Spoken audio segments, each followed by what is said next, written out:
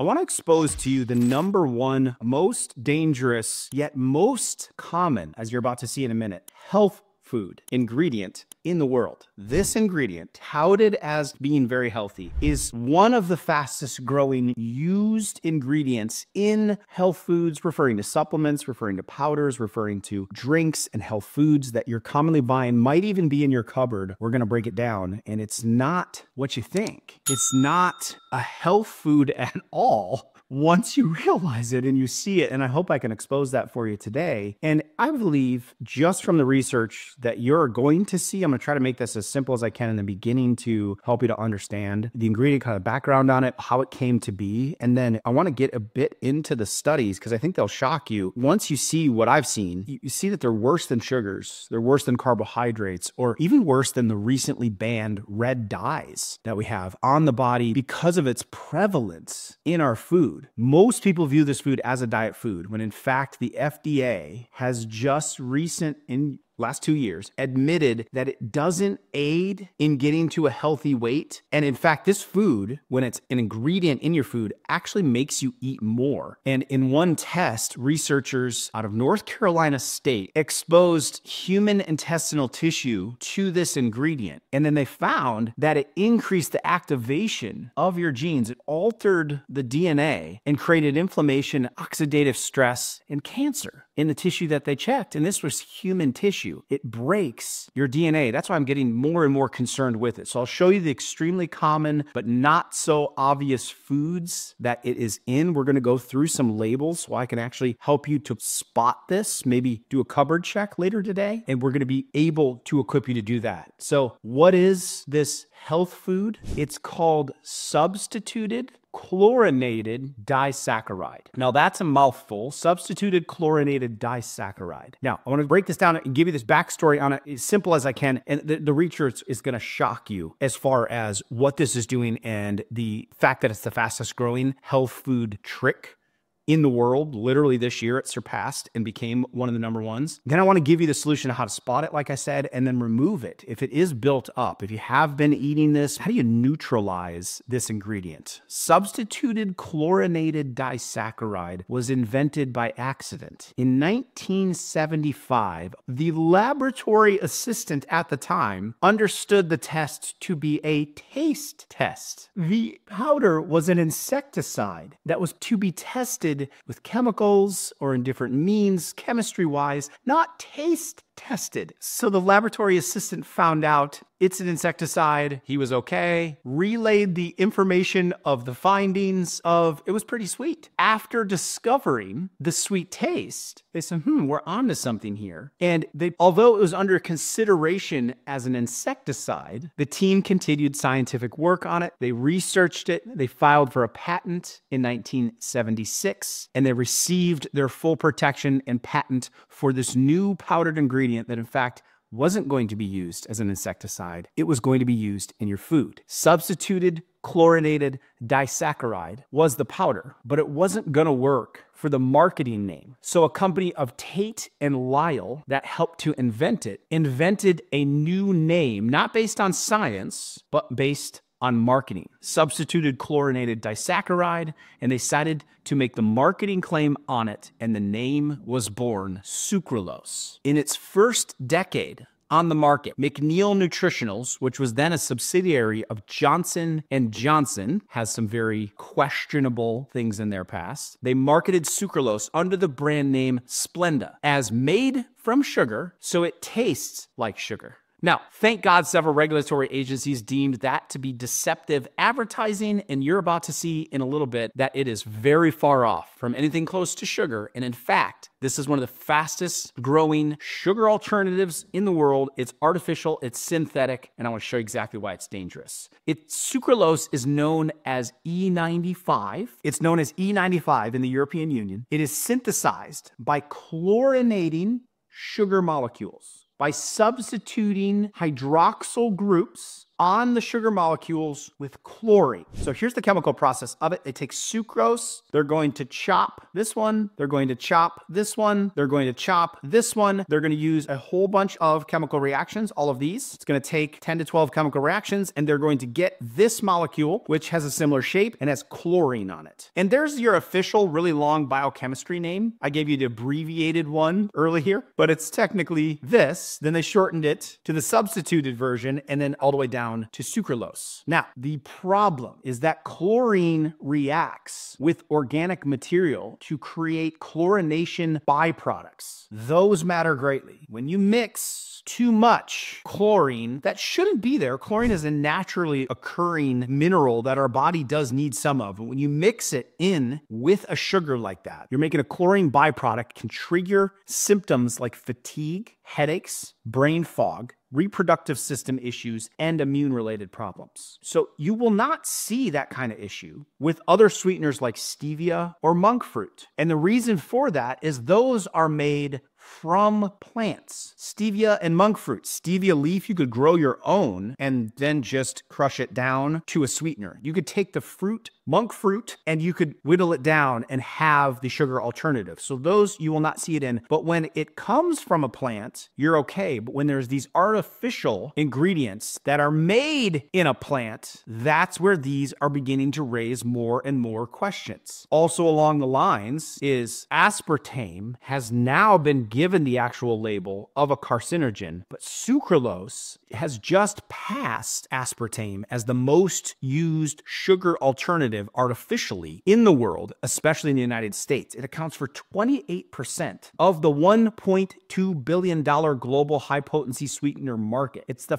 fastest growing, it's growing at 10% rate, and it is showing up in a shocking amount of health foods. It is in nearly 4,000 food and beverage healthcare products, including diet drinks, ice creams, protein bars, vitamins, toothpaste. It can be found in gum. It can be found in over the counter medications, salad dressings. Consumer use of sucralose has grown by 10% each year. 70% of those who consume sucralose, also known as Splenda, will have a sensitivity to it. 7 out of 10. And 7 out of 10 people will develop symptoms because of this ingredient. And seven out of 10 women in America use sucralose daily. So, a study from researchers suggests that a chemical formed from one artificial sweetener might also damage our DNA. That is sucralose, and the zero calorie sweetener that we use all the time. It's 600 times sweeter than table sugar. The World Health Organization recently recommended against using certain sugar substitutes to help lose weight, including sucralose, saying there's little evidence that it actually works. So, why are so many women and men consuming this? In addition to the DNA damage that we talked about, the new study found that sucralose may lead to a leaky gut lining and it increases the activity of the genes related to inflammation and cancer. The findings from the studies raised the health and safety concern around this thing, and I want to start blowing the whistle on it because that was found in the Journal of Toxicology and Environmental Health, and it takes a while for these things to catch up. I want to put you ahead of the game. Now, why are we eating so much of it? We think it is a weight loss alternative. And so the FDA is now saying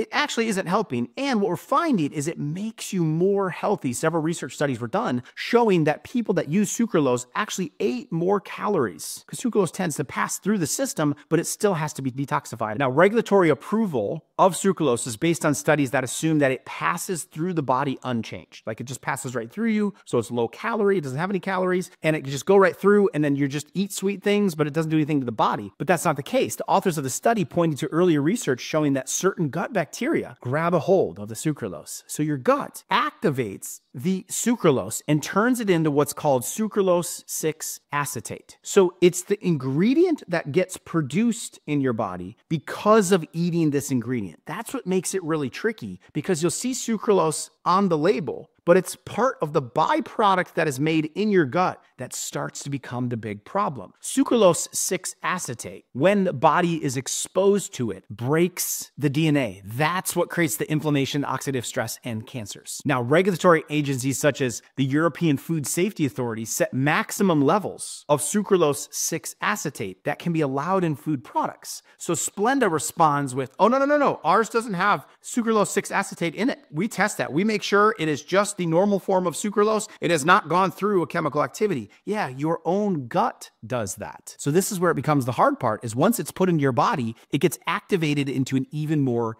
damaging material. Now, acetate is also really hard on the liver. So I'm going to talk about that in a moment. Now, the amount of the chemical in a single serving of sucralose containing beverage could be high enough to potentially damage the DNA. That's what this study found. On the study, on humans proved that just 45 milligrams per day over a 10 week period of time created the damage. So I thought to myself, I wonder how much is actually in. Let's look at an example of an energy drink, very popular one. There's sucralose right on the label. This is the number one selling one currently while I'm filming this video. So you want to check every single one of your energy drinks to find out if it has this ingredient label. And so I looked at, okay, there's sucralose. It's midway down on the ingredient list. So this energy drink is going to give you this extremely toxic chemical. How much is in there? How much sugar you would have to put in to this energy drink that I just showed you in order to get the sweetness that is in this energy drink. So you have to have an entire quarter of a cup of sugar in order to accomplish that. Well, they figured out that you only need to add just a fraction of a teaspoon of sucralose to equal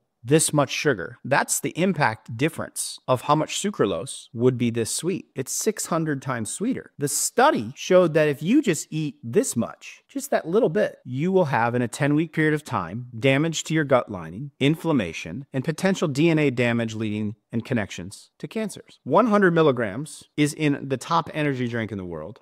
45 milligrams is all it takes for a 10 week period of time. So 10 weeks of usage leads to that.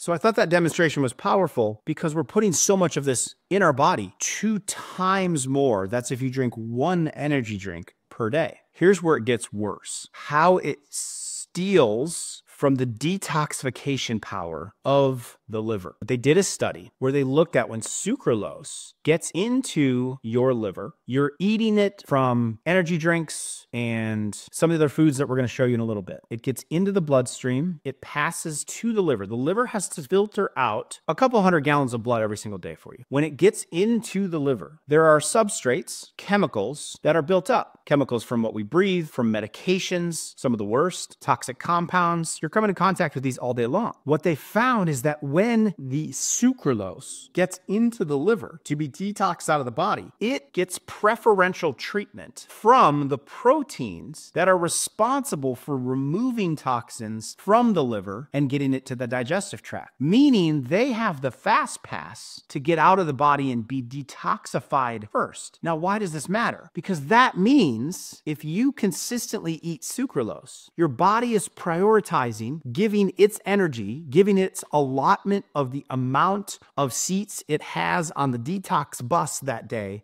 to sucralose first, leaving behind every other form of toxicity like medications, like alcohol, like chemicals from the air. So the liver is getting more toxic, not just from the sucralose in the gut or creating inflammation or from your DNA, but because the liver is being prioritized by sucralose to eliminate it first. That was shocking to me. It's literally tricking the liver to get it out of the body first, get its free ride, and leaving behind other destroyers. So, this toxin, why I call it the most dangerous, is because itself damages gut lining, inflammation, and DNA. But it also makes all the other toxins worse. So, how do you know if you've had too much of this? If you got it into your body? If you're dealing with sucralose toxicities?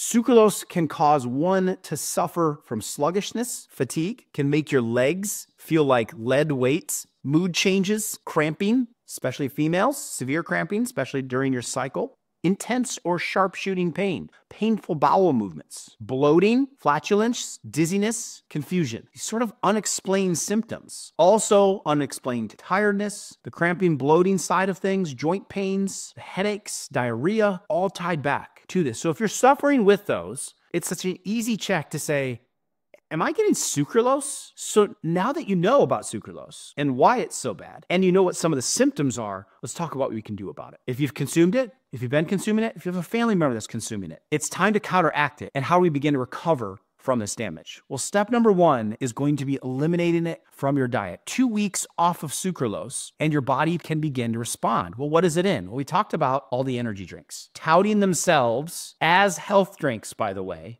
yet they are very far from it. That's I will always call out. But what about your creamers? If you are getting a light drink, a sugar free drink, a low sugar, low calorie drink at a coffee shop or at home, you better look for sucralose, as I almost guarantee it's in there. Hot chocolates, let's get the light version for the kids. Sucralose and Ace K, I will add, let alone artificial flavors. But Ace K is the other counterpart of an artificial. I'm gonna get some cranberries, 50% less sugar. Every time it says less sugar, you wanna look is there an artificial sweetener in there? What about Gatorade? Low calorie. This stuff in the front jumps off the label at me to say something's going on there. As soon as you flip it over, sucralose and Ace K. Your orange juice. It's the light version, sucralose and Ace K. Your fruit, there it is. Sucralose. Why are you putting sucralose in our peaches? Different type of fitness and health food drinks. Sucralose. And again, Ace K. Oatmeal. One of the most common questions I get about health foods. There it is. Sucralose. Lower sugar, sucralose. That's how you can start to spot some of these very common, almost every food I went through there, if you ask people, would be considered a health food. Something people are using for recovery of a workout, for some kind of healthy drink. They think they're just eating fruit. They think they're just eating oatmeal. They're trying to do something healthy, healthier foods, yet extremely toxic. So those things have to go to sort of do a flush of the system. We've got to cut off the source and avoid those foods. Number two, we want to counteract the toxin by increasing natural sources of glutathione and its building blocks. Glutathione is the street sweeper of the body. Three amino acids that you need to get a lot of. So the reason why NAC, NAC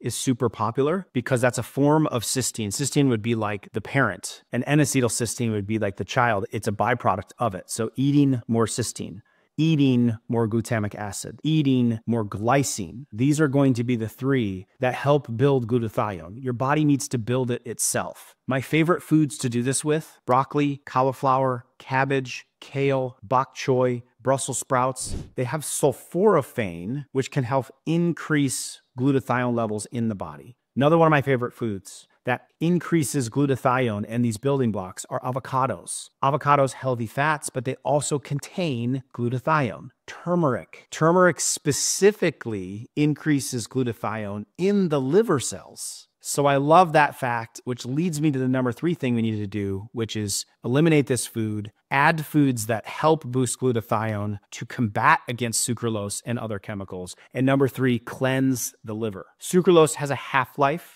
of around two weeks in the body, sometimes as short as five days. So your system can eliminate it quickly. But remember, it's going to be prioritized to get rid of quickly, but it's going to leave behind a lot of other chemicals because it took the seat on the bus and it shoved other people out so they couldn't get out of your liver. So we've got to follow that. So following a specific liver food eating plan can help assist the liver. And then we want to support with the glutathione, with the building blocks of glutathione, with nutrients like milk thistle, with nutrients like lemon water powder, and load up the liver so it can do phase one of wrapping up these chemicals, phase two, isolating them with fats, and phase three, getting them out of your body. That's called phase one and two detoxification pathways of the liver. And those specific nutrients and more help to do exactly that. So, my recommendation, if you have not done one or have not done one recently, take the liver cleanse so that your liver can do the proper phase one, phase two, and get an entire flush. And of course, stop eating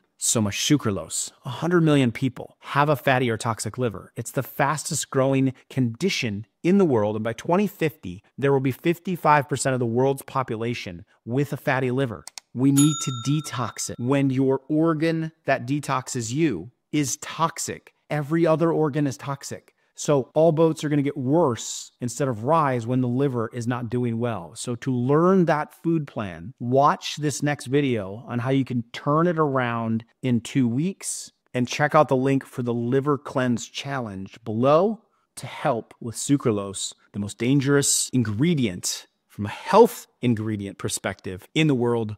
We can do better. Check this next video out.